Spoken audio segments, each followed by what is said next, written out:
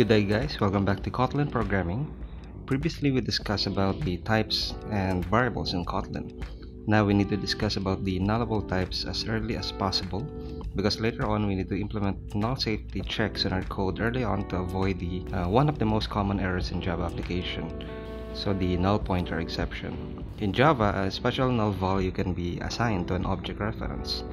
Null pointer exception is a kind of error that arises when an application attempts to use an object reference that has a null value. So if you do not explicitly check if the object is null before accessing it, null pointer exception will be raised and will crash your application. The thing is that you cannot detect it during compile time. It appears during the runtime execution of your application. So to avoid that, we need to write a defensive code in our application. Uh, fortunately, Kotlin enforced that kind of programming on its structure by converting null pointer exception from a runtime error to a compile time error so that uh, programmer can detect it early on. Kotlin added nullability safeness mechanism to its type system. Uh, this is possible because Kotlin type system distinguishes between references that can hold null value and those that cannot. Uh, this feature can detect many errors related to null pointer exception at very early stages of development. Uh, let's uh, let us first look at Java on how null pointer exception can slip on your application. So I created a program here. Uh, this is written in Java. So when you declare a string and it, it has an initial value,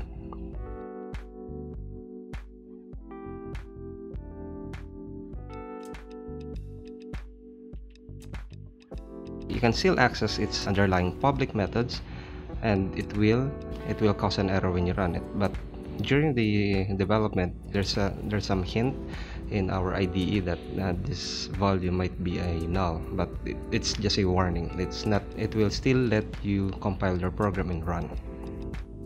Now if you want a much less obvious example so here I created a class. So class A and it has a private uh, private member of type string. So we have a constructor and we have an, a getter method. So here's our class. So if we declare an object of type A so now this is this is fine. So we can access uh, let's say we want to get the ppl the character is ppl in the in the word apple using the substring method. Okay so when we run it this is fine and good. So there's no error. But if somehow the private member becomes null and we access we are still accessing it in our program as you can see there is no warning. There's no warning at all. So it uh, it shows that our program is fine. So when we run it um, okay so we have a crashed program. So that is what we call the null pointer exception error. So now let's look at how the Kotlin introduces this uh, safety mechanism of checking a null value. In Kotlin, you need to define that a variable might be holding a null value, like this. So var variable string. So to make the variable vegetable to be to be able to hold the null value, you need to precede it with question mark and then our initial value. Okay, then we can assign vegetable is equals to null. So let's uh, if we declare a normal variable like this var fruit string is equals to banana. If we assign a null value in the fruit variable we cannot print it because it's an error. As you can see this is a compile time error because of the red squiggle red squiggles uh, beneath the variable fruit now with this construct, assignment of value to fruit variable that might be null will result into compile time error.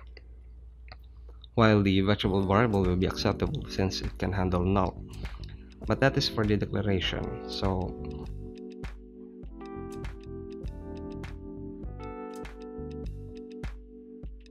what if uh, we use the variable and given that it is a string, most of the time we access methods to manipulate the string like this.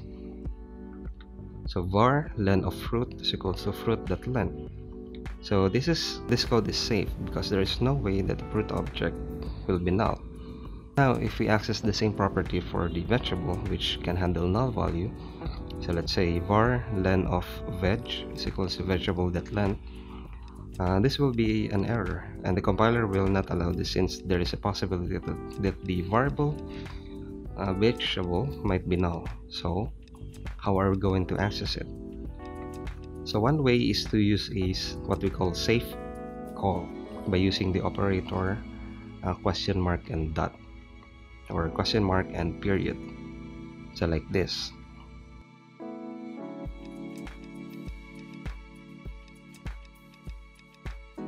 So vegetable question mark length uh, this one returns either the valid length of string or a null.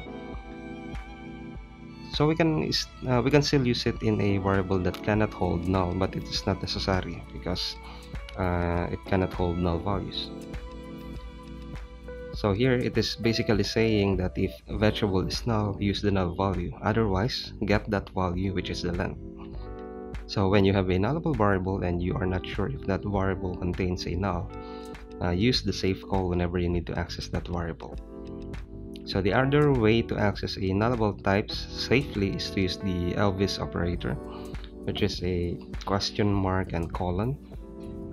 So they called it Elvis because, um, as you can see, uh, I don't need to explain it. Okay, so that is the Elvis operator. So how to use the Elvis operator? So basically it's like a null, uh, null coalescing operator in C Sharp or a ternary operator in Java. It is used like this. So let's say um, we need to declare a variable and we need to get the length of the string inside the vegetable variable.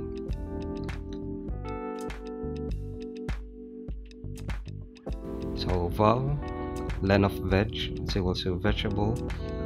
So we are going to use the safe call and then the Elvis operator and the negative 1 what this code means is that if the vegetable is null the value negative 1 will be used otherwise the value of the length the thing to remember this is that if the variable vegetable is null the right operand of the Elvis operator will be used otherwise it is the left operand the last one, called the not null assertion operator.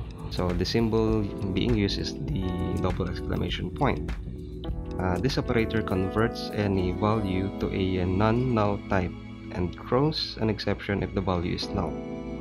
So to use this, so val len is equal to vegetable, and then the operator double exclamation point that length.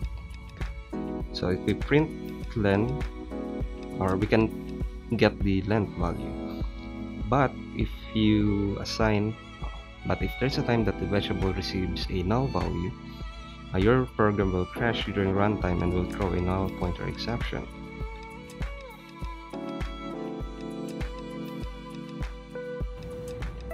So if you want to have a null pointer exception, you can force it explicitly in Kotlin using the non-null assertion operator. But beware to use this because uh, it overrides the security checks of Kotlin imposes on your program when checking for null values. So to review, Kotlin by default does not allow null objects. You need to explicitly sign your variable using the question mark operator. And you can handle it properly using the safe call operator, the Elvis operator, and the non-null assertion operator. Just be more cautious when using it. So that's it. Thank you for watching and if you have any questions just feel free to write in your comment section below. Please don't forget to subscribe to my channel to be up to date on this Kotlin tutorial. See you guys.